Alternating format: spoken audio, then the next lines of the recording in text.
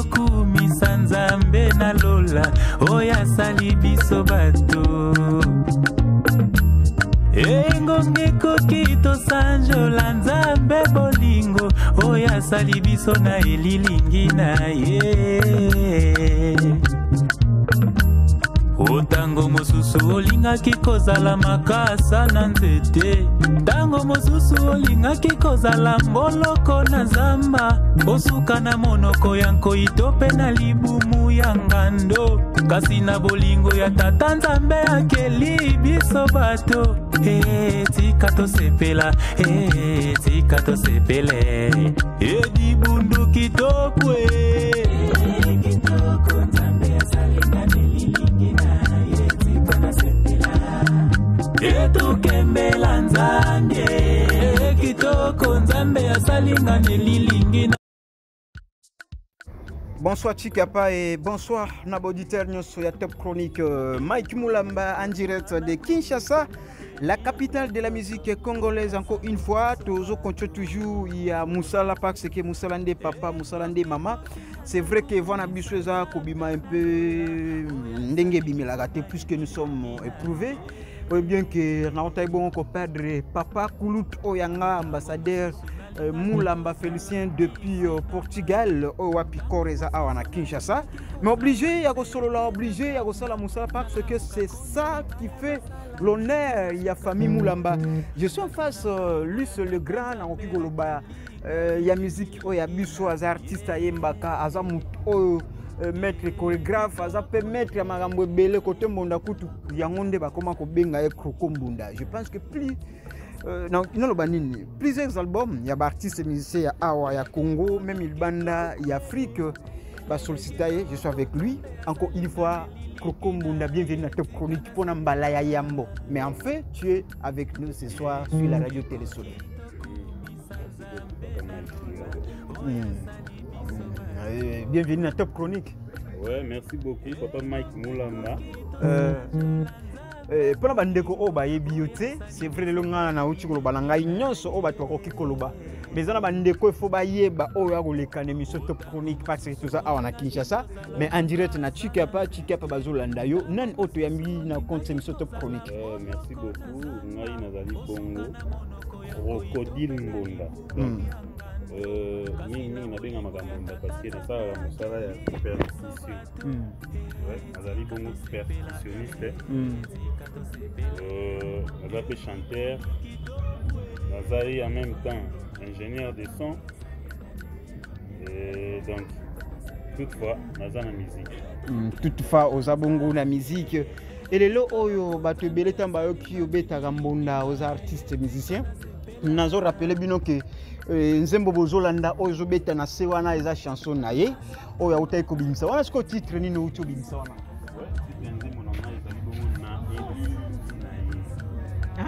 na elilingi na ye nde odécouvrir nani donc na elili nini na ndo moni c'est plus jazz to ndenge nini pas ce que ozoloba yo moko très bien keni oza na elilingi na ye non puiske biso biso nyonso toza ba créateur hmm. ya nzambe omoni vike nzambe akreye biso na hmm. elilingi na ye hmm. yango wana nga mpe na trouve mwa part ya koremercie ye parceke akelaki ngai na elilingi voilà na wana sikoyo après ya kozwa badeception ya makambo ya mikolo ya bafrère en christ na bapaster nde orapele biso ke na, na elili na ye nde lelo oyo bino bakroko bobimi to eza nini deception nde etindi yo mpo lelo oyo trop de mitakalise na makambo ya nzambe yango nde etindi yo na elilingi makambo ezoleka eza nango mokili parce que toza na kati ya mokili surtout ke tolobaka esika bato baza là où bato baza baproblème ezangaka te donc makambo mpe fo elekaka ndenge ezosenga eleki ngai ça n'a rien à voir na makambo wana tout mpo na explike yo ke na elilingi na ye na sens wana oyo wana yo okanisi wana te po ozalaka mystique biso banano bazalaka mystique ozalaka mystique omemaka likambo na ndenge moko boye ya polémique wana sikoyo na kati na yango yembi nini tokoki odecouvrir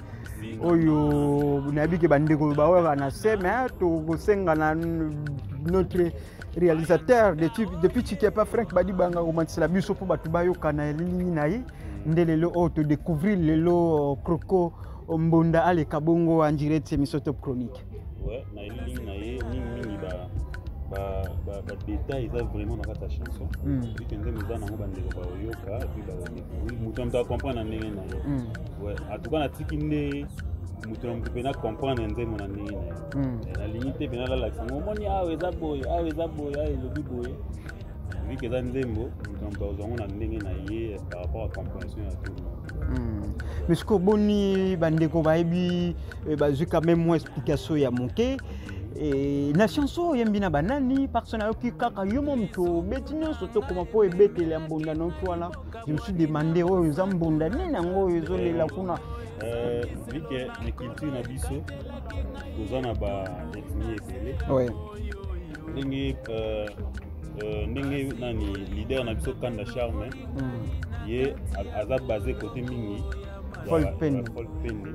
mm.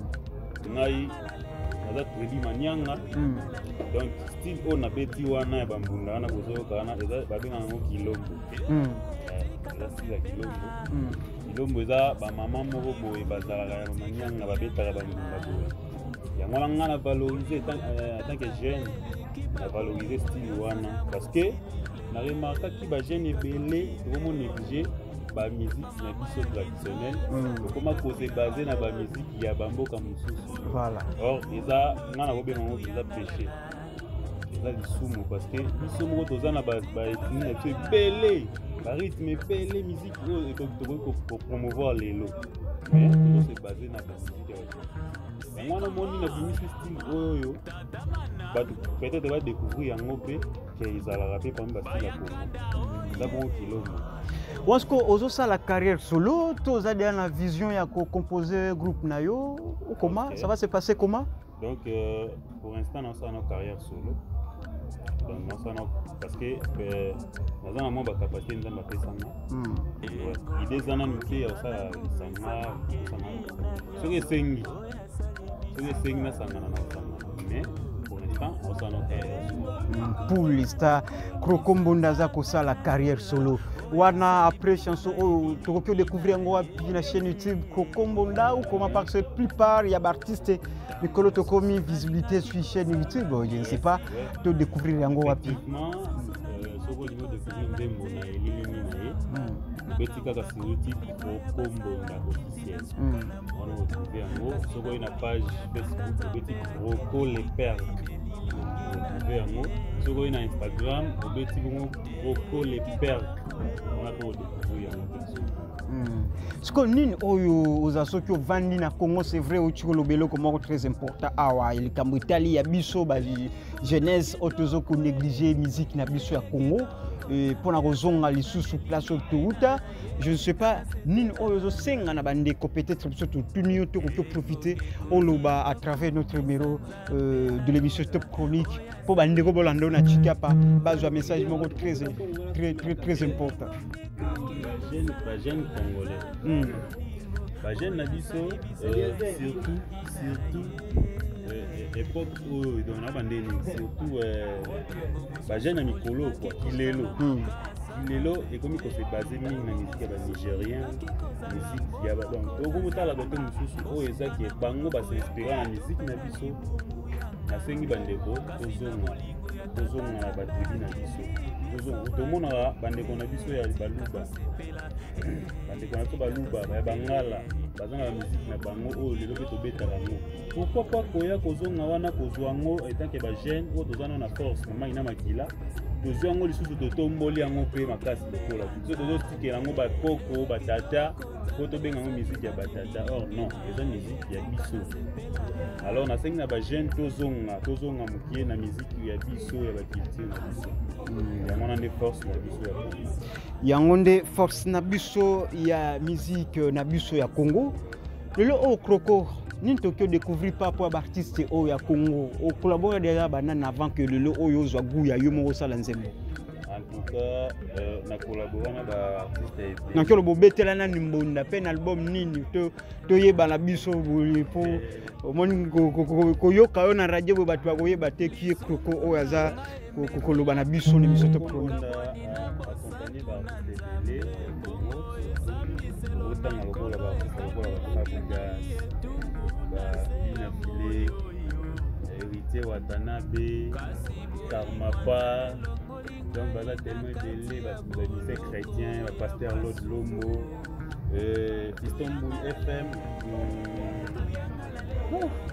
baza ebele quand même wana otangi otangi rumba otangi euh, religieuse traditionnelle traditionnelle natangi grand leader kanda charme oui. euh, la musique euh, nako baneli côté musique de recherche oyo mobenga musique de recherche mm. nazo accompagner euh, euh, nazo accompagner grande famille bayakanda bayakanda mm -hmm. musique ouais, ouais.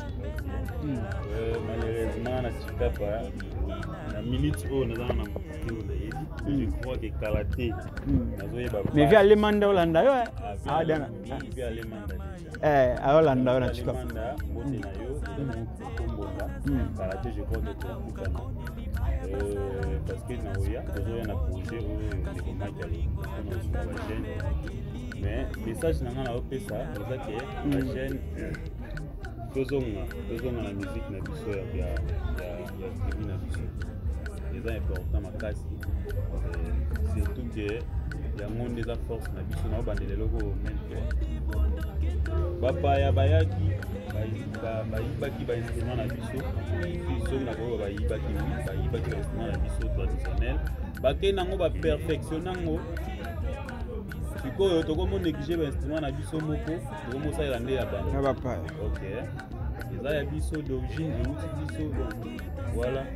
bandeko tozonga tozonga mpenza eza mpona bien na biso voilà merci ezalaki yo plaisir ya koyamba yo encore une fois chaque fois soki euh, besoin ezali nous sommes disponibles mpona kovalorize oyo boza kosala croco encore une fois merci tolanda chanson mpona plaisir ya baauditeur tout ya top chronique depuis chikapa nous sommes ici à kinshasa nous disons merci beaucoup